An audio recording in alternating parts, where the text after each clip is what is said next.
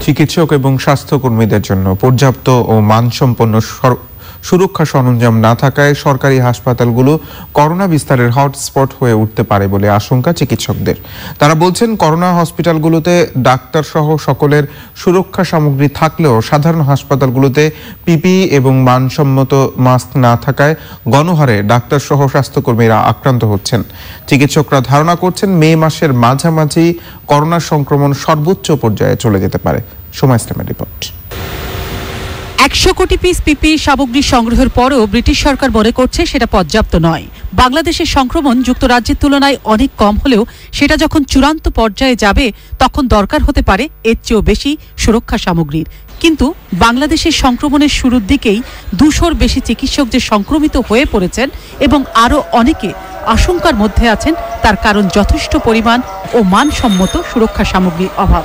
সে কারণেই রাজধানীর শহীদ সোহরাওয়ার্দী হাসপাতালের চিকিৎসক নার্স সহ চোদ্দ স্বাস্থ্যকর্মী করোনায় আক্রান্ত হয়েছেন।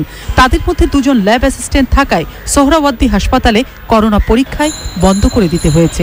আমার মনে হয়েছে জেনারেল হসপিটালগুলি বেশি আক্রান্ত হচ্ছে। যেমন আপনাদের কোভিড নাইন্টিন হসপিটাল, আমাদের কুয়েত, মৈত্রীতে সেরকম হেলথ কেয়ার প্রোভাইডারদের সেরকম কোনো আক্রান্তের সংখ্যা নেই বললেই চলে, কুর্মিটোলা নেই বললে চলো। কিন্তু আমরা অন্যান্য দিকে দেখছি, ঢাকা মেডিকেল সরওয়ার্দী হাসপাতাল, সলিমুল্লাহ মেডিকেল যেগুলো জেনারেল হাসপাতাল, সেখানে হেলথ কেয়ার প্রোভাইডাররা অনেকেই আক্রান্ত হয়ে গেছে ইতিমধ্যে।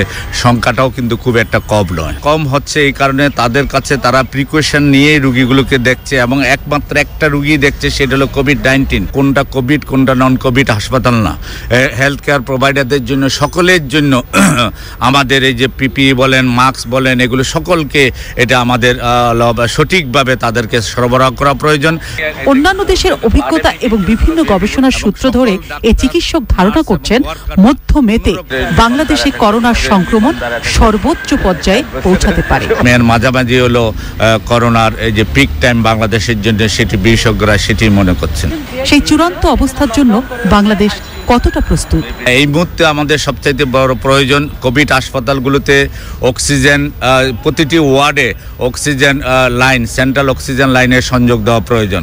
ঢাকায় করোনার অন্যতম হটস্পট মিরপুরের লালকুঠি মা ও শিশু হসপিটাল করোনা চিকিৎসার জন্য নির্ধারিত একটি হাসপাতাল। দুইশো শয্যার হাসপাতালটির পরিচালক বললেন আঠারো জন রোগী ভর্তি থাকলেও নেই পর্যাপ্ত সুবিধা। আইসিইউটা পুরো রান দরকার।